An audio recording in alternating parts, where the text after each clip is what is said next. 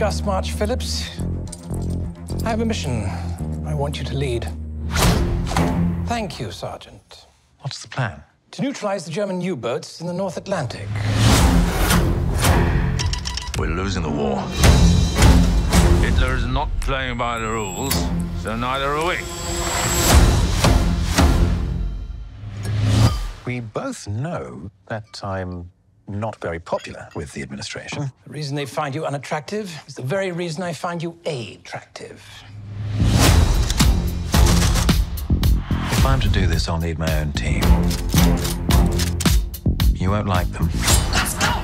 They're all. Mad. They'll need to be. This is an unsanctioned, unauthorized mission.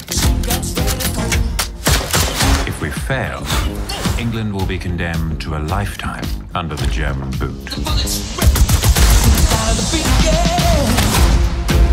And so I said, That is not a dog. That is my wife.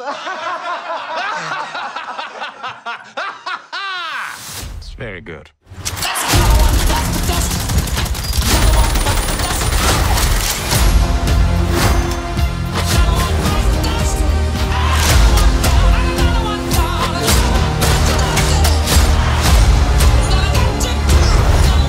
Operation are reckless. Abort this mission now. Hello, can't hear you. Please do off.